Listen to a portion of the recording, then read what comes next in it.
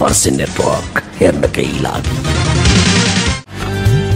जिया चौतारी हजुरहरूलाई चिया चाहिँ कस्तो ल्याउँ होला? मुसु मुसु हाँसिरहनु भएको छ। चिया चाहिँ कस्तो खानुहुन्छ? त्यो चाहिँ भनिदिनु पऱ्यो नि त। मैले तपाईँहरूलाई कहाँ देखेँ देखेँ जस्तो लागिरहेको छ डाइरेक्ट यहाँ देखेको भन्ने त कुरो भएन। चिया चाहिँ कस्तो खानुहुन्छ हजुरहरू? कालो चिया चल्छ। कालो चिया तपाईँलाई चल्छ? यता सेतो चल्छ? दुइटैजनालाई कालो? ए त्यही त अब कालो चियाको लागि त दुध चाहिएन श्रीमतीज्यू कता गइन् खास तपाईँहरूलाई मैले कतै देखेको हुनुपर्छ यहाँमा राइट हजुर हामी चाहिँ युवा नेपाल भन्ने अर्गनाइजेसनका वाइएएलसी युथ एक्टिभिस्ट लिडरसिप काउन्सिलको मेम्बरहरू हौ। ए हजुर हजुर ए म फिल्ममा देखेको भनेको होइन रहेछ त। त्यही त तपाईँ होइन तिमी त के? भने के अरे चिया पसलबाट जो आउँछ सबै फिल्मबाटै आउँछन् भन्ने सोध्छौ कि क्या हो? प्रायः अब फिल्मको अहिले अतिक्रमण भइरहेको छ क्या चिया चौतारीमा फिल्मको कलाकारहरूको अनि त्यो भएको अलिअलि सोसियल मान्छेहरू कमाउनुहुन्छ फेरि फिल्मको मान्छे चाहिँ सोसियल भन्नु होइन भन्न खोजे होइन क्या? त्यस्तो त होइन होइन तर मलाई पनि दुईजनाहरू देख्दाखेरि त होइन कस्तो कस्तो भयो कि? भर्खरको यङ हुनुहुँदो रहेछ। भित्र बस्ने डर लाग्यो मलाई। कस्तो हुने? भित्र बस्ने डर लाग्यो मलाई। किन? यङ देखेर? बाहिर छौ नि त। अनि म बाहिर हुँदा चाहिँ तिमी भित्र पस्न के खान डराउनु पर्यो त नि? त त तिमीलाई थाहा छ नि किन भनेर त होइन? पहिला चाहिँ पाहुनालाई नै हुन्छ नि स्वागत गरौँ चिया सोधिसक्यो होला होइन? सोधेको छैन मैले त सेन्टरम सोधेँ। चिया कुरै। मिल्दैन क्या बुढीसँग। अनि खासमा केबाट कहाँबाट आइपुग्नु भनेर कस्तो सोध्न मन लाग्यो कि? मलाई कस्तो खुल्दुली लाग्यो। नेपाल महासङ्घ होइन? होइन युवा के भन्दै हुनुहुन्थ्यो? हामी चाहिँ युवा नेपाल भन्ने एउटा अर्गनाइजेसन छ होइन? यो यो यो यो यो अर्गनाइजेसनले चाहिँ के गर्छ युवाहरूको लागि? यो चाहिँ युवाहरूले नै चलाएको होइन? युवाहरूकै लागि एउटा अर्गनाइजेसन हो। अनि यसमा चाहिँ अहिले तिनवटा थिमेटिक एरियाजमा काम भइरहेछ होइन। एउटा चाहिँ एक्टिभ सिटिजनसिप भन्ने छ होइन? जहाँ चाहिँ अब आम मानिसहरूलाई चाहिँ आम युवाहरूलाई चाहिँ बेसिकली होइन? नेपालको बारेमा युथ सिभिक सेन्सको कन्सियसनेस जगाउने त्यस्तो प्रोग्राम हो त्यो चाहिँ। अनि त्यसपछि अर्को चाहिँ हाम्रो प्रजनन तथा यौन स्वास्थ्य स्वास्थ्यमा पनि काम हुन्छ। यहाँ चाहिँ अनि त्यसपछि रिसर्चको कुराहरू पनि हुन्छ। यिनले कहाँ देख्या देख्या भने यिनले सुन्या चाहिँ रहेछन् कि? उता सुन्यो? डट कमतिर सुनेको थियो होला नि त अस्ति। के? खोइ कहाँ देखाउँदैन नत्र? होइन के अरे खास मैले नबु बुझ्न खोजा चाहिँ नि। तपाईँहरू यस्तो राम्रो राम्रो हुनुहुन्छ। यो संस्थामा चाहिँ काम किन गरिरहनु भएको छ यो? खास के हो एजेन्डा चाहिँ? हामी त अनि डाइरेक्ट राम्रो मान्छेले सस्तामा काम गर्ने हुन्न त होइन त। कस्तो प्रश्न गर्छ नि त? हामीले चाहिँ यो युथ एक्टिभिस्ट लिडरसिप काउन्सिल भनेपछि sexual and reproductive health and राइट्सको बारेमा चाहिँ हामीले एडभोकेट गर्ने काम गर्छौँ। ए। बुझ्यौ? एडभोकेटेड एडभोकेटर हुनुहुँदो रहेछ कि उहाँहरू त? एडभोकेटेड हँ? भन्छ त्यही त एडभोकेट गर्नुहुन्छ। बुझ्यो? कति न खास यो नेपाली भन्नु मिल्दैन यो चाहिँ। वकालत भनिन्छ एडभोकेसीलाई चाहिँ नेपाली त्योभन्दा अगाडि पनि त बुझेको छैन नि वकालत मात्रै नबुझ्यो हो र यौन तथा प्रजनन स्वास्थ्यलाई ए अच्छा अच्छा त्यो अच्छा स्वास्थ्यको बारेमा यसो जनचेतना फैलाउँदै हिँड्ने होला जस्तो लाग्यो मलाई। यो श्रीमतीको विषय रहेछ म चिया पकाउनु गएँ तिम्रो पनि विषय हो नि होइन यस्तै भन्नु। सबैले श्रीमतीको विषय भनेर हिँड्यो भने के हुन्छ नेपालमा? हजुर यो महिलाको मात्र होइन कि पुरुष महिला दुवै मिलेर अघि बढाउनु होइन पर्ने प्रजनन क्षमता त महिला मात्रै हुन्छ नि त आमा कति गलत बुझाइ हो कि भन भनाइ हो? तिमी हो कि सोसियल एक्टिभिटी चाहिँ उहाँ हो। अनि त्यो होइन नि त दुवैजनाले जान्नुपर्छ अरे भन्ने चाहिँ थाहा नि त हामीलाई पनि होइन? अहिले हामी थाहा भएको मान्छे बोलेनौँ भने अनि के हुन्छ पछि? मलाई सोध्नु त के के थाहा छैन मलाई? म सबै थोक जानेको छु होइन? के के हो? के जानेको छुइनँ मैले? हजुरलाई महिनावारी बारे थाहा थाहा? छ महिनावारी भनेको चाहिँ महिनामा एकचोटि हुन्छ। कसरी हुन्छ? कसरी हुन्छ त्यो त तिमीलाई नै थाहा होला यो चाहिँ विषय जिस्किने खालको विषय होइन। यो विषयमा चाहिँ प्रजननको विषयमा चाहिँ पहिले पहिले स्वास्थ्य शिक्षामा नि पढाइ हुन्थ्यो त्यतिखेर पढायो हो। यो महिनावारी हुनु भनेको चाहिँ एउटी महिला चाहिँ आमा बन्नको लागि तयार हुनु हो। एमा राइट एकदम। यस यस एमआई राइट भन्ने? हुन्छ चाहिँ के त महिनावारीमा? महिनावारीमा चाहिँ रक्त सराप हुन्छ। होइन कि के हो? दिदी त्यही हो नि होइन? अँ, त्यही हो। यहाँ फ्यान्सीवाला दिदी पनि मुसु मुसु हाँसेर त्यही हो त्यही भन्ने भन्दै हुनुहुन्छ। तिमी त मलाई नसोधेर उता दिदीलाई सोध्ने। तिमी भन्दा नि दिदी अनुभवी भएको मान्छेलाई सोध्ने हो त भर्खरका मान्छेलाई के सबै महिला अनुभवी हुन्छन् महिनावारीमा ए हो। एकचोटि भइसकेपछि त अनु अनुभव भइगयो त्यही पनि लिजेन्ड भनेको राजेश दाई भनेको त राजेश दाई हो नि त। जे पाते। उहाँ बहिनीहरू आउनु भएको छ यसो राम्रो कुरा सोध्नु कति राम्रो राम्रो कुराहरू गर्नुहुन्छ? जस्तो कस्तो कुरा गर्नुहुन्छ उहाँहरूले? अहिले यो सोह्र दिने अभियान चलिरहेछ त्यसको बारेमा सोध्नु नि। ए महिनामा पीडा- पीडामा छु भने होइन। म त महिनाहरूको पीडा होइन नि त। त्यो भनेको होइन बुढीबाट पीडित भयो भन्दै थियो त राधिका पनि? यिनी त जे पाए त्यही भन्दै बाहिर। कुरो घरमा ल्याएर फेरि यो दिदी भनिदिने हो। हे तपाईँ त मान्छे त तिमीले कहिले पनि एउटा श्रीमतीलाई रेस्पेक्ट गर्न हामी जानेनौ कि? हामी यस्तै प्रायः यस्तो भइरहन्छ। के अरे ईश्वर दिने भनेको चाहिँ के हो यो म एउटा प्रश्न गर्छु सोह्र दिने आइहाल्यो होइन? त्यो महिला हिंसा विरुद्धको सोह्र दिने अभियान अरे भन्ने सुनेको थिएँ कि? है दिदी अघि भन्नुभएको थियो कि। होइन? यो के श्रीमतीले मात्रै श्रीमानलाई यिनले भर्खर मलाई गाउँ गाउँ गएर कुरा काट्दो रहेछन् भन्ने थाहा भयो। कि श्रीमतीले चाहिँ श्रीमानलाई गर्न पर्नेले रेस्पेक्ट गर्न पर्नेले होइन? अनि श्रीमानले चाहिँ श्रीमतीले जे पनि भन्दै हिँड्न पाउने त त्यस्तो नि हुन्छ? त्यस्तो चाहिँ एकदम अलिक गलत गलत भयो होइन? त्यो भनेको चाहिँ रेस्पेक्ट। भनेको एउटा मानव लेभलमा हुन्छ। श्रीमानले श्रीमती श्रीमतीले श्री- श्रीमानलाई भन्दा पनि एउटा इन्डिभिजुअल लेभलमा हुन्छ। सबले सबलाई गर्नुपर्ने भयो होइन? रेस्पेक्ट भनेको। यसपालिको यो सोह्र दिने अभियानको थिम पनि त्यही जेनेरेसन इक्वालिटी भनेर यही रेस्पेक्ट चाहिँ जेनेरेसन सब जेनेरेसनलाई रेस्पेक्ट गर्नुपर्ने हो त्यो थिममा रहेको छ। म प्रशंसा भण्डारी। प्रशंसा चाहिँ अनि यो तपाईँ बिहा गर्नुभयो छैन हजुर। बिहा नगरेर यस्तो कुरो राम्रै जान्नु हुँदो रहेछ। अब होइन सम्मान त अ, गरिरहन्छ त्यही अभियानमा हिँड्नु भयो नि त अनि जानिहाल्नुहुन्छ नि। सब कुरा जानेर पोख्त भएपछि बिहे गर्नु नि होला नि त फेरि। खै अब मलाई के थाहा बिहेको विषयमा त्यति धेरै जानकार छुइनँ। ख्याल ख्यालमा डुबिहाल्यो। ए त हजुरको नाम चाहिँ के भन्नुभएको थियो? मेरो नाम चाहिँ रिजु ढकाल। रिजु ढकाल? प्रशंसा रिजु। ए ल सोध नि त के मलाई हेरेर म च्यालिन गएँ अब। तिमी चाहिँ किन सोधिन्छ महिलाहरूको बारेमा। गइहाल्यो भित्र। कति नै लाज मान्ने के? गाउँ गाउँ गएर दिदीहरूसँग चाहिँ मेरो कुरा काट्दो रहेछन् भन्ने कुरा थाहा पाएँ। आज बेलुका जानेछु मैले यिनलाई।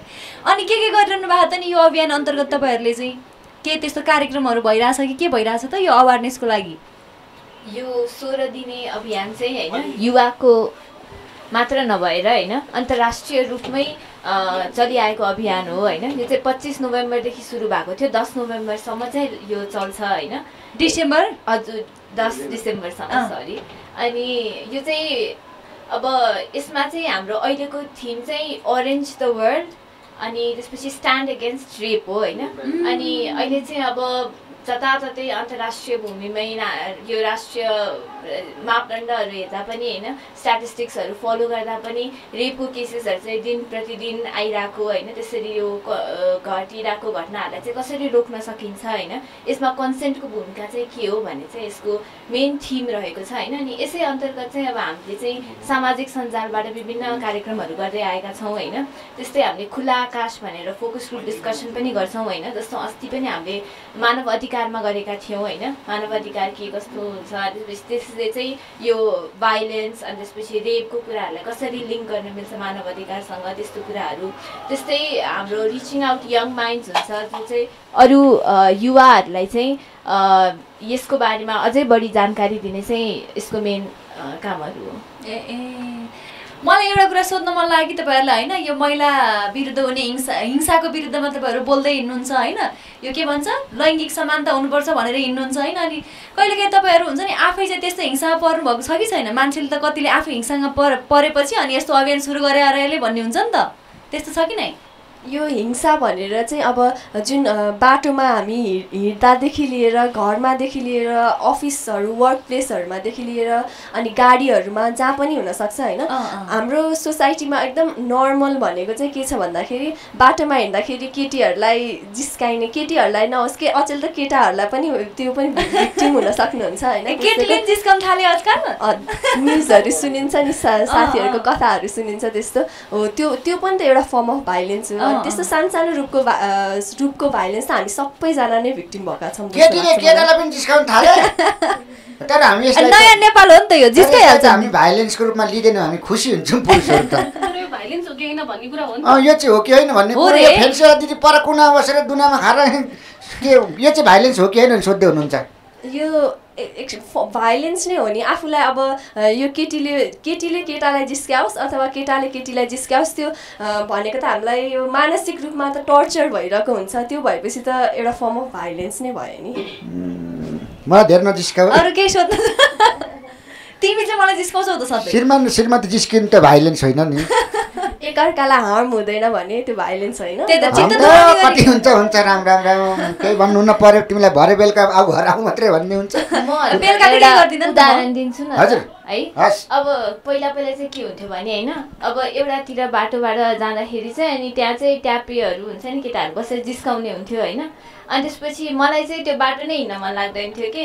अनि दिनमा चाहिँ म हिँड्थेँ होइन। अलिक साँझ परेपछि चाहिँ मैले त्यो बाटो नै फेरेर यताबाट जान्थेँ कि कलेज जाँदा स्कुल जाँदा पनि होइन। धेरै पछिसम्म पनि कि। अब त्यो पनि त एउटा किसिमको भाइलेन्स नै हो होइन। अब त्यसरी मलाई चाहिँ अब दिनदिनै सोच्न परिरहेको छ म त्यो बाटो हिँड्छु मलाई फेरि जिस्काउँछन्। आज पनि आज पनि के भन्छ भनेर मैले जो सोच्नु परिरहेछ भने त्यो मलाई गरेको एउटा किसिमको भाइलेन्स नै त हो तपाईँलाई? मानसिक टेन्सन भयो नि त त्यहाँ। त्यसको विरुद्ध तपाईँले केही गर्नु भएन केटाहरूलाई? केटाहरूलाई चाहिँ त्यति बेला केही पनि गरेन अहिले म भइदिया सानो दिनुहुन्थ्यो थिएँ। होला। अच्छा यहाँ फ्यान्सी दिदीको केही डु हेभ एनी क्वेसन अहिले भइदिएमा त होइन एक्सनमा जानुहुन्थ्यो होला कि उहाँ? किनभने सब बुझ्नुभयो नि त अहिले। तपाईँहरू कति भयो त नि यसरी काम गर्न थाल्नु भएको यो यो यो अभियानमा? यो संस्थामा यो के भन्दा उमा आबद्ध हुनुभएको चाहिँ? हामी चाहिँ एक वर्षको हाम्रो अवधि हो होइन खासमा। हाम्रो अब धेरै चाहिँ छैन। संस्थामै लागेर काम गर्न धेरै छैन तर हामीले धेरै कुरा बुझेपछि अब आफ्नै लेभलबाट पनि सुरु गर्छौँ भनेर चाहिँ हामीले प्रण लिएका छौँ। वाह वाह। प्रण चाहिँ लिनु पर्दो रहेछ। चिया लिएर आएन हौ अहिलेसम्म? अघि नै गएको होइन अघि ग्यास फ्याक्टर मरेछ कि अनि फेरि चलाएर आएको फेरि गइहालेँ। फेरि अनि अरू के के भइरहेको त नि अब यो कति दिन भयो आज कति दिनमा आउनुभयो तपाईँहरू? आज तेस्रो दिन रहेको छ। सुरु सुरुमै रहेछ अहिले त होइन? कतिको प्रभावकारी हुन्छ त नि यसरी यो अभियानहरू चालिरहँदा? बेला बेला भइरहन्छ होइन? यस्तो सोह्र दिने अभियान त। वर्ष वर्षेनी नै हुन्छ यो वर्षमा। एकचोटि हो? हजुर हजुर। यो यही ठ्याक्कै यही डेट पारेर नै वर्षेनी नै अनि अन्तर्राष्ट्रिय रूपमै हुन्छ। ए कतिको प्रभावकारी हुन्छ त नि तपाईँहरूले यसरी हुन्छ नि अवेरनेस फैलाउँदै हिँड्दाखेरि? कतिको कम भएको पाउनुहुन्छ त्यस्तो कुराहरू जुन घटनाहरू घट्छ ती?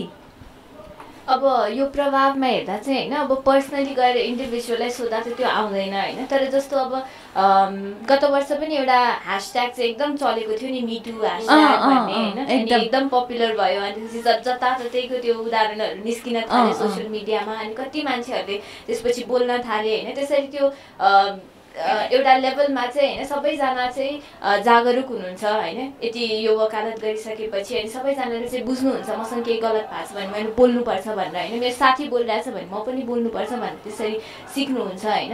त्यही भएर यो हेर्दै सिक्दै गर्ने चलन चाहिँ बस्न थाल्छ। तर त्यस्तो हुन्छ नि समाजमा कति बलात्कारका घटनाहरू तीहरू त खासै कम भयो जस्तो लाग्दैन मलाई त्यो बेला बेला आइरहेको हुन्छ गर्नेले गरिरहेको हुन्छ दुःख पाउनेले पाइरहेको हुन्छ त अनि। त्यसमा चाहिँ हाम्रो अब लज पोलिसिजहरूको पनि कुरा आउँछ होइन? त्यसमा हाम्रो कानुनहरूलाई चाहिँ अलि हामीले एडभोकेट गर्ने हामीले वकालत गर्ने नै त्यसकै लागि हो यो सोह्र दिन अभियान सोह्र दिने अभियानको मुख्य एजेन्डा भनेको पनि त्यही हाम्रो जुन पोलिसी मेकर्स हुनुहुन्छ उहाँहरूलाई चाहिँ अटेन्सन यो लैङ्गिक जुन हिंसाहरू भइरहेको छ हो त्यो प्रति चाहिँ अटेन्सन ग्राप गर्नको लागि नै हामीले यो अभियानहरू गरिरहेका हुन्छौँ। चिया के भयो चिया? चिया आउँदैछ चिया भन्दा उता बुढो मान्छे आइसक्यो बाजे चिया कुर्दै भन्ने पहिले भनिहाल्यो म किचन छिरिहाल्छु यता होइन उता आज त फिल्मको मान्छे होइन नि फेरि। अहिले फेरि कुन फिल्म भन्ने सोध्लाउ। सोधिदिन पछाडि पोस्टर भइहाल्छ नि फिल्म भयो भने। मलाई कालो चिया। कालो? ब्ल्याक। ब्ल्याक नमस्कार है हजुर। नमस्कार। नमस्कार। अब फिल्मको होइन भने के को हो त? सोध्न न उहाँहरूलाई ए हजुरहरू फिल्मको त होइन भन्नुभयो साउजीले। हजुरहरूको कहाँबाट आउनुभएको हो र? जान्न मन लाग्यो क्या मलाई? हामी चाहिँ युवा नेपाल भन्ने एउटा सामाजिक संस्थाबाट आएका हौँ। हजुर? हजुर के गर्छ यसले? हाम्रो युवा नेपालले चाहिँ युवाहरूद्वारा नै होइन युवाहरूका लागि चाहिँ वकालत गर्ने काम गर्छ होइन। ए चिया पनि खाँदै। युवाहरूद्वारा युवाहरूकै समस्यालाई युवा। नेपाल। साउजी कहाँ हो तपाईँ? म यहाँ चिया दिदीलाई त्यहाँ दिन पठाइरहेको छु। कति बोल बोल न के मलाई यो यत्रो कुरा सुने मैले होइन मेरो चाहिँ यहीँनिर फ्यान्सी पसल छ हजुर। अनि मलाई जान्न मन लाग्यो कि यी दुईजना बुढाबुढी जहिले झगडा गरेर हुन्छन्। होइन अनि बुढीलाई कुनै कुरा मन परेको छैन भने बुढालाई कुनै कुरा जिस्काएको मन परेको छैन भने त्यो गएर काहीँ कम्प्लेन गर्न मिल्छ कि मिल्दैन यसको बारेमा चाहिँ के हुन्छ त्यसको बारेमा पनि तपाईँहरूले बताउनुहुन्छ होला नि त। जो बहिनीले बताइदिनु भए पनि हुन्छ। अब यो उसले गरेर व्यवहार मलाई मन परेको छैन भने पहिला त हजुरले उसलाई नै भन्नु पर्यो होइन। अब भन्दा नि भएन भने चाहिँ अब कति भन्छु भन्छु यिनलाई त यिनी त यस्तो गर्छ यिनको त तँ पनि हिंसै हो जस्तो लाग्छ कि?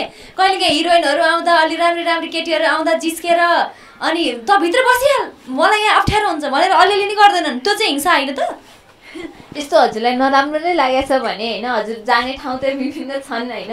तर हजुरले चाहिँ यसलाई अब मजाको रूपमै लिइरहनु भएको छ। अब हजुर मजाक क- पनि कति लिनु त नि दिनदिनै जिस्केर बसेपछि त। एक मुद्दा हाले दुईचोटि पो मजा आएको त। मुद्दा हाले भइगयो। हाल्छु अब बुझ्दैछु त्यही भएर। ए मुसा बिरालोहरू जहिले यस्तै हुन्।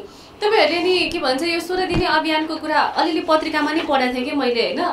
यो नाई भन्न एकदमै आवश्यक छ भन्ने कुराहरू एकदमै यो ठुलो मुद्दा बनाएर नि उठाइरहेको जस्तो लाग्छ मलाई हो। साँच्ची नै हो यो? हजुर हो। नाई भन्नु चाहिँ एकदम जरुरी हुन्छ भनेर हामीले त्यो कुरा चाहिँ हाम्रो सानो बेलादेखि हुन्छ नि हाम्रो अभिभावकदेखि लिएर हामी स्कुल जाँदाखेरि टिचर्सहरूदेखि लिएर सबले चाहिँ बच्चा बेलादेखि नै हामीलाई नाई कसरी भन्ने कुन सिचुएसनमा नाई भन्ने कुन सिचुएसनमा यस भन्ने भनेर चाहिँ सिकाउनु पर्छ भनेर एकदम जरुरी छ भनेर त्यो पनि हामीले वकालत गरिरहेका छौँ। अनि त्यसमा चाहिँ तपाईँहरूले साथीहरूलाई हुन्छ नि बाहिर भेट्दाखेरि अनि उहाँहरूले चाहिँ मैले त सजिलै नाइ भन्छु ए जोसुकै रिसाए पनि हुने भन्ने खालको साथीहरू भेट्नुहुन्छ?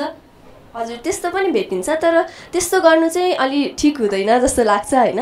किन भन्दाखेरि नाई भन्दाखेरि अर्को मान्छे मानिस जो हुनुहुन्छ हाम्रो अगाडि उहाँहरूको पनि अब रेस्पेक्ट गरेर एकदम राम्रोसँग नाई भन्न पनि त्यो पनि त एउटा कला हो नि त्यसलाई पनि त हामीले रेस्पेक्ट गरेर हामीले त्यसरी नाई भन्नुपर्छ जस्तो बहिनी राम्रोसँग नाइ भन्न सक्नु पनि कला हो अरे कसरी भन्ने यतापट्टिको बहिनी रिजु है तपाईँको नाम? हजुर। उहाँ के कसरी भन्ने त नि यो कला सिकाइदिनु पर्यो। मलाई नि भन्नु पर्यो कि कहिले काहीँ बुढाले त साह्रै दुःख दिन्छन् नि? के कुरा दिन्छन् हौ त्यस्तो दुःख। कहिले खाना बना कहिले के अब हुन्छ नि बुढाबुढीको कुरो होइन? नाइ भन्दा चाहिँ अब आफूलाई मन नलागेको कुरा छ भने चाहिँ डराउनु भएन होइन? सिधै भन्न सक्नु पर्यो। अनि अल्झाइ राख्ने अर्को मान्छेलाई होइन आज होइन भोलि होइन भने त्यसरी नाइ भन्नुभन्दा पनि होइन सिधै नाइ भन्ने मलाई मन छैन भनेर होइन? आफूले सिधै कुरा गरेपछि त्यो गलत भइँदैन। अनि आफू गलत भएन भने त्यो डराउनु पनि पर्दैन कसैसँग जस्तो लाग्छ मलाई चाहिँ। मन फेरिन्छ नि कहिले काहीँ केटी मान्छेको मन के राधिका बहिनी तपाईँलाई हुँदैन त्यस्तो? के कुरा फेरिन्छ भने तपाईँको कुरा सुनेर आज म त अचम्मै परेछु। होइन कि जस्तो मैले मा नाइ भनेर होइन अनि मैले गलत भने कि बुढो रिसाए कि त्यही सब? दुनियाँ रिसाए कि भनेर त हामी कति चपेटामा परेर आउँछौँ के?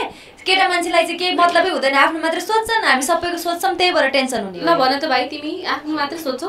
म यो बिचमा छुइनँ है महिलाहरूको बिचमा मात्रै बहस भइरहेको बिचमै बसिरहेको छु अहिले। होइन कि अब नाइ भन्न अप्ठ्यारो भयो भनेदेखि गीत गाउने नि त नाइ नभन्नु ल। गीतमा पनि नाइ नभन्नु ल नै आएको छ हेर त। फेरि फेरि फेरि नाइ नभन्नु ल नै भन्छ पनि। नाइ भन्नै नपाउने जस्तो कि गीतले पनि के त्यही हो भने अचम्म मैले एउटा नबुझेको चाहिँ कुन अवस्थामा चाहिँ नाइ नभन्ने त? कस्तो कस्तो अवस्था हुन्छ नि त अब? कुन अवस्थामा नाइ भन्ने चित्त अवस्थामा नबुझेको। अवस्थामा होला नि त। अब बहिनीहरूले भन्नुहुन्छ। होइन चित्त नबुझ्ने विषय पनि हुन्छ नि पढ्न जा भन्दा पनि नाइ नभन्ने भन्ने हो कि? होइन। के त? तिमीले मलाई दिन दिनै भाँडा मजाउँछौ नि। एकचोटि माझ भन्दा मान्दैनौ। कहिले काहीँ त मैले नाइ भन्न पाउनु पर्यो नि तिमीले मान्नु परेन। दिनदिनै मैले भाडा मान्न लाउँछु अरे अनि उसले मैले भन्दा चाहिँ नाइ भन्न मैले पाउँदिनँ अरे। कस्तो कुरा के गर्छौ? प्रश्न हो यो? लो। यो प्रश्नको नि कसरी भन्ने के भन्ने कस्तो बेलामा भन्ने भनेर अझै बहिनीहरूले भन्नुहुन्छ बरु। त्यही होइन। त मान्छे बोलाएर अनि यस्तो कुरा होइन यो मैले यो- यस्तो विषय पनि यो नाइ र नाइ भन्ने विषय हो त। अब भाडा मान्नु उसले अरे। नाइ माझ गर्दैन तिमी हेल्प गर त भन्न पाउनु पर्यो त्यो होला नि हो त त भाडा नमाझे भात पकाउ नि त त्यसो भए। भात पनि नपकाउने भाडा पनि यही भएर सोह्र दिने अभियान चलेको है बहिनी? भाँडा माझ्ने भात पकाउने भनेको उहाँको मात्र काम पनि त होइन नि त होइन। गुड भात त मैले पकाइरहेको छु त। मिलेर गर्नुपर्छ जे। पनि। काम खान्छ भनेर हो। खान्छौ। तिमीले त खान्छौ मात्रै। के पकाउने हो? यस्तो के?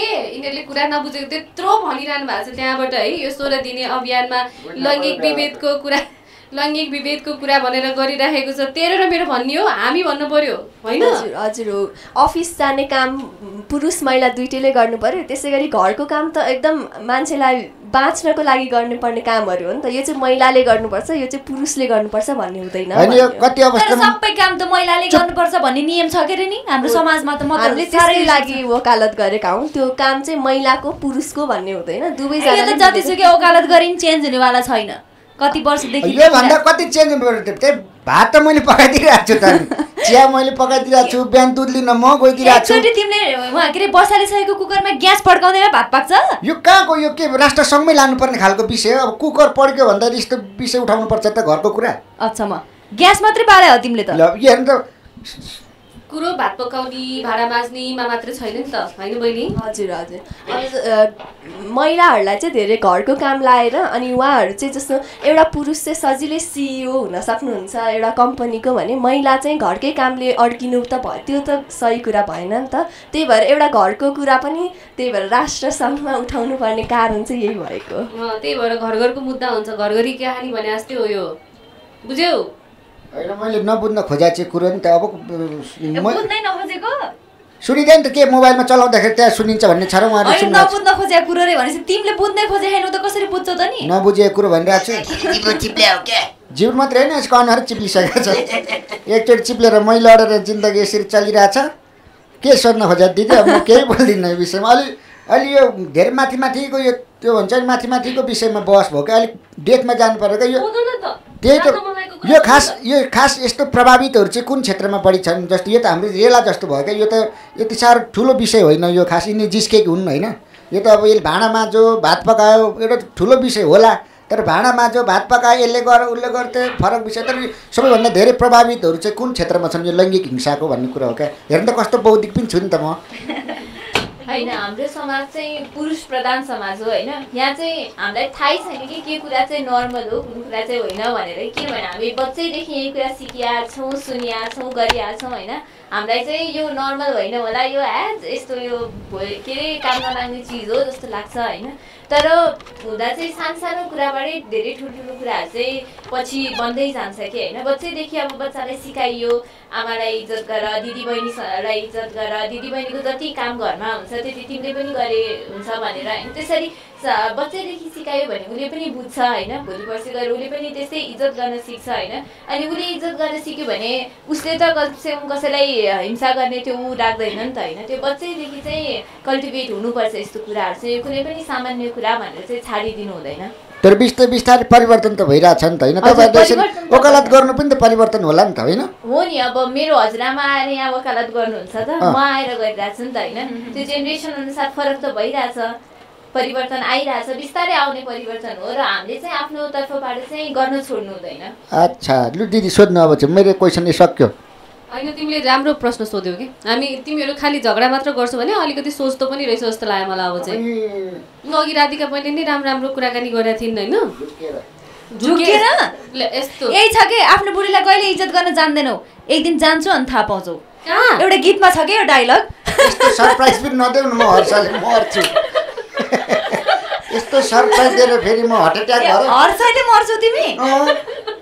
त्यसो भए म भोलिदेखि हुन्न है यहाँ भोलि नै? निस्किन्छु म। ल बाटो खर्च कति चाहिन्छ। जाऊ जाऊ ल। कहिले काहीँ यसो फोन गर्दै गर्नु नि यसो लाग्यो भने। तिमीलाई त्यति बढी भएर छु म। मऱ्यो हौ म त दुईजना सधैँ यत्तिकै हो। अलिअलि त सुन्थेँ ठाकटुक अहिले त यहाँ त रासारै भयो हौ। अनि अब तपाईँहरू यो सोह्र दिने अभियान खासमा त हरेक वर्ष नै हुन्छ यो। मैले पनि पढेको सुनेको चाहिँ। यो सोह्र दिने अभियान सकिसकेपछि के भन्ने चाहिँ आउँदैन कहिलेकाहीँ तपाईँहरूको दिमागमा? हामीले खास एडभोकेट गरेको पनि त्यसकै लागि हो होइन? यो जुन हामीले कुरा उठाइरहेका छौँ यो सबै सबतिर अहिले विश्वव्यापी नै जुन कुरा उठिरहेको छ त्यो चाहिँ यो सोह्र दिने अभियानको सोह्र दिनमा मात्र सीमित नराखौँ होइन? जै यो भनेको एकदम इम्पोर्टेन्ट इस्यु भइसके भइसकेको छ होइन? अहिले एड्रेस त हुँदै आइरहेको छ बिस्तारै बिस्तारै तर पनि अझै निर्मूल गर्न त अझै धेरै समय लाग्न सक्छ नि त? त्यही भएर यो सोह्र दिनमा मात्र चाहिँ सीमित नराखौँ।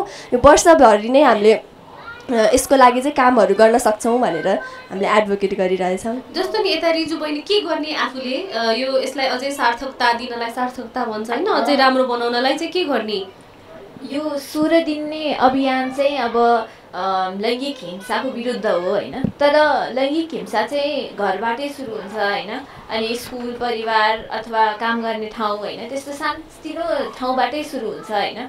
अब लैङ्गिक हिंसाकै कुरा गर्नु पनि पर्दैन। आफूले भने आफूलाई लागेको कुरा चाहिँ भन्न सक्नु पर्यो होइन। आफूले कतै हिंसा भइरहेको देखिरहेछौँ भने चाहिँ अब उसलाई सहयोग गर्न सक्नु पर्यो अथवा कसैको कहीँ छ भने सुनिदिन सक्नु पर्यो होइन।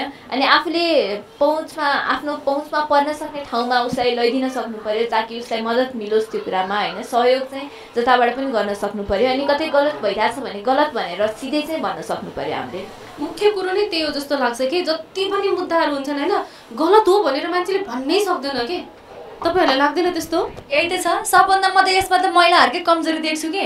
केही कुरा गलत हो भनेर बोल्नलाई पनि ओहो मलाई त फ- समाजले के भन्ला फलानुले के भन्ला भनेर इज्जतै सम्झेर पहिले दबिनुपर्छ अनि सबै त्यसै दबिएर बसेर नि हो जस्तो लाग्छ म त। उहाँहरूलाई सानैदेखि त्यसै गरी हुर्काइएको। हुन्छ नि त त्यही भएर। संस्कार दिएका होला नि हजुर, त हजुर। काहीँ न नानीदेखि लागेको पानी जाँदैन नि त फेरि हत्तपत्त उहाँ मनमा एक किसिमको डर बसाइदिए कि पहिलादेखि नै होइन? जति आन्टीले बनाउन बन्न सिकाएनन् कि? नाइ भन्नु गलत हो भनेर हामीलाई म त छोरी। जन्माएर छोराभन्दा बढी हिम्मतीले बनाउनेवाला छु अब। ल है कुरा आयो। सल्लाह छैन त हामीसँग त। तिमीसँग किन गर्नु पर्यो? ए- ए मसँग सल्लाह बेकारै हे भगवान् के सम समय आयो? यो त म पनि एउटा अर्को सङ्गठन गठन गरेर म आफ्नो विषयमा वकालत के सङ्गठन गर्छौ गठन? छोडिदियो त्यो विषयमा होइन? खास अब सोध्नुपर्ने कुरा अब के के सोधिसक्नु होला। यो अब यो तपाईँ अघि जेनेरेसनको कुरा आयो नि। जस्तो पहिलेको जेनेरेसनको के अरे जेन्डर इक्वालिटी अँ के? लैङ्गिक समानता भनेको के? के भन्नु नि त के जेन्डर जेन्डर भन्नु? सजिलो हुन्छ बुझ्नलाई भनेर झन् भनेर कस्तो टुप्या भयो जेन्डर? इक्वालिटी भने के? प्लस टू पढेको मान्छेलाई सोध न। पहिला जेन्डर इक्वालिटी भन्ने थियो अहिले जेनेरेसन इक्वालिटी भनेर छ। ए। यो बुढाबाहरूलाई पनि ल्याउनु पर्यो यो मुद्दामा भनेर हो होइन? हजुर। त्यता त साह्रै गाह्रो हुन्छ होला है के अरे पहिला पहिलाका बुढा बाहरू आमाहरूले त बुझ्दैनन् हाम्रो कुरो भने के भन्छन् के भन्छन् भनेर उडाउँछन्। बुझ्दैनन् भन्दा पनि यो चाहिँ हिंसा भनेको चाहिँ एज हेरेर मान्छेको उमेर हेरेर हुँदैन होइन? त्यो बुढा मान्छेलाई पनि भइरहेको हुनसक्छ। सानो बच्चादेखि लिएर महिला पुरुष दुइटैलाई भएको हुनसक्छ नि त। त्यही भएर यो कन्सेप्ट जेनेरेसन इक्वालिटी चाहिँ ल्याइएको हो। तर कि पहिला पहिलाको हजुरआमाहरूले आमाहरूले त होइन? हाम्रो पाला त अब पुरुषहरूले जे गरिन् सहन पर्छ भन्न हुन्न हामी त महिला हो भनेर बस्नुहुन्छ नि त। अहिले पो अब हाम्रो जेनेरेसन अब बुढालाई पनि पर्यो भने दिइन्छ होइन? त्यही भएर कुरो मिल्दैन। बुढालाई पर भने दिनैपर्छ भन्ने हो? अँ। हो त? सहन भएन भन्ने सकिन्न त्यतिसम्म आइपुगेछौँ हामी सहनु भएन मतलब ठोक्नुपर्छ भन्ने? सहनु हुन्न भन्ने सबैजना म जस्तो हुन्छ भन्ने छ त। त्यही त छ त समस्या। त पुरुषहरू देशमा बस्दै बस्दैनन्। म जतिको सहनशील कहाँ छन्? होइन मैले अघि त्यो जेनेरेसनको कुरा गर्नुभयो नि जस्तो हजुरआमाको समयमा त्यही खालको स्कुलिङ हुन्थ्यो अनि त्यो भएर सहने बानी भयो भने जस्तो। अबको अब जस्तो तपाईँहरूको जेनेरेसनमा अहिले यसरी वकालत गर्दै हिँड्नु भएको छ होइन? अब अब अब आउने जेनेरेसनमा त्यसो भएदेखि यो हिंसा सिंसै घट्छ त? हुँदैन त? हामीले वकालत गरेको नै त्यस त्यसकै लागि हो। होइन? जेनेरेसन इक्वालिटी भनेर हामीले अहिले वकालत गरेर अहिले जुन फर्म अफ हिंसाहरू भइरहेको छ हरासमेन्टहरू भइरहेको छ त्यो चाहिँ सकेसम्म हुँदै नहोस् र भए पनि कम होस् भन्नु चाहिँ हामीले वकालत गरेको त्यसकै लागि। अच्छा यो क्या तपाईँहरूलाई जस्तो यसरी हिँडिरहँदाखेरि तपाईँहरूलाई यो के हिँडेकोहरूलाई काम छैन मान्छेलाई उच्कायो बिगार भन्नु चाहिँ हिंसा हो के त्यही त भन्छन् कि भन्दैनन्। भन्छन् होला नि के नभन्नु? बहिनी हाँस्नु भएको देख्दा त स्योर कन्फर्म भन्ने जस्तो लाग्यो। भनिहाल्छ नि भन्नेले त होइन। तर अब त्यो सबैको कुरा सुन्न थाल्यो भने त कहाँ हुन्छ त नि होइन। अब मैले कुरा मैले गरेर कुरा गलत लागेको छैन मलाई त्यही भएर म भन्न सकिरहेको छु होइन। अब हिंसा भनेको फेरि अब फिजिकल हुन्छ नि कुटपिट गरेर अथवा त्यस्तो बलात्कार गर्ने त्यो मात्रै हिंसा पनि त होइन नि होइन। अब कसैले सुनाउँछ सुनाएको सुनाइ गर्छ अनि इमोसनल टर्चर हुन्छ होइन। डिप्रेसन फ्रस्ट्रेसन के के हुन्छ नि त मान्छेलाई। होइन त्यो पनि त एक प्रकारको हिंसा न हो। त्यो डिप्रेसन? फ्रस्ट्रेसनमा पनि केटीहरू नै बढी गएको देख्छु म त तर तथ्याङ्कले चाहिँ केटाहरू बढी हुन्छन् किन। भनौँ म केटाहरूले भन्दैनन् होइन केटा मान्छे रुन हुन्न भनेर हाम्रै समाजले। सिकाएको त्यो पनि। पुरुषवादी समाजले नै त्यो स्ट्रङ हुनुपर्छ खतरा लाग्यो मलाई तथ्याङ्कले केटा है? मान्छेहरू एकदमै पीडामा छन् भनेर किनकि के केटा मान्छे खुसी हुनु मन थियो? मलाई थाहा थिएन नि त नयाँ कुरा थाहा पाएँ भनेर खुसी भएको नि। यो त पुरानै हो घर घरकी कहानी अब होइन तिमी पनि डिप्रेसनमै छौ क्या? को? तिमी। पहिले तिमीसँग हुन्थ्यो इम्प्रेसनमा थिएँ अहिले त्यस पछाडि जिन्दगीमा जब बिहे गरेँ त्यस पछाडि डिप्रेसनमा छु। के अरे विज्ञापन बोल्न आँटेँ जस्तो भयो मेरो होइन। अब के क्वेसन सक्यो? जस्तो जस्तो अब मैले गाउँ गाउँमा गएर चाहिँ यस्तो यो विषयमा चाहिँ अब कोही कोहीलाई सम्झाउनु पर्यो भने के के भन्यो भने चाहिँ सम्झाउने छोटकरीमा। हिंसा नगर्नु भन्ने। त्यति मात्रै भनेर त मान्दैन। तिमीहरू बहिनीलाई सोध न उहाँ दुईजना बहिनीहरूलाई सोध न। बाको प्रश्न चाहिँ एकदम राम्रो छ है। अब हामीले चाहिँ हिंसाका विभिन्न उदाहरणहरू चाहिँ समाजमा देखिरहेका छौँ होइन। अस्ति। पनि त्यो मुस्कानवाला केस एकदमै पपुलर भयो होइन। अब उसले चाहिँ मानिन अनि त्यसपछि उसलाई एसिड फाल्यो भनेर भनियो होइन। उसको त जिन्दगी बर्बाद भयो भनेर त्यो किसिमको उदाहरणहरू पनि ल्याउन सकिन्छ होइन। यस्ता। उदाहरणहरू चाहिँ समाजमा एकदमै धेरै छन् होइन? बिगबिगी रूपमा छन्। हो त्यो हिसाबमा त्यो उदाहरणहरू देखाएर होइन? अनि त्यसपछि बिस्तारै मान्छेलाई चाहिँ सिकाउँदै गयो भने चाहिँ अब एकैचोटि त मान्छेले बुझ्छ भन्ने त्यो छैन होइन? हामीले पनि त्यो एक्सपेक्ट गर्नु हुँदैन किनभने उसले त्यो चलिआएको परम्परा संस्कारहरू छोडेर एकैचोटि हाम्रो कुरा सो सुन्ला सोच्ला भन्ने त्यो चाहिँ गलत हो होइन? तर बिस्तारै हामीले यसरी उदाहरणहरू दिँदै गयौँ अनि त्यसपछि गलत कुरालाई गलत भनिरह्यो भने त्यो ए मेन्टालिटी पनि चेन्ज हुन चाहिँ त्यस्तो टाइम चाहिँ लाग्दैन।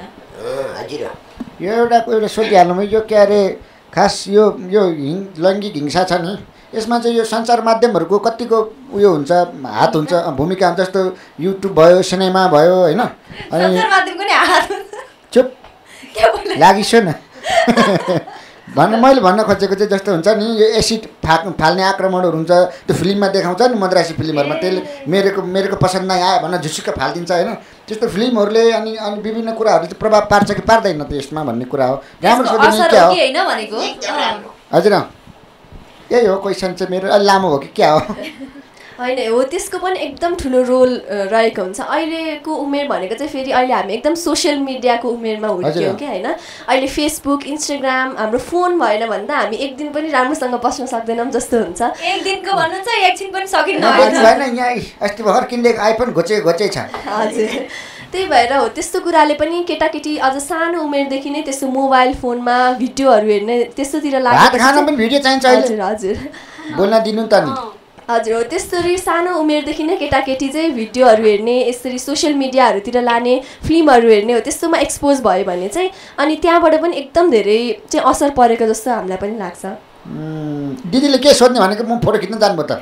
ओ दिदी फ्यान्सी दिदी के मसँग क्वेसन छ एउटा भने होइन?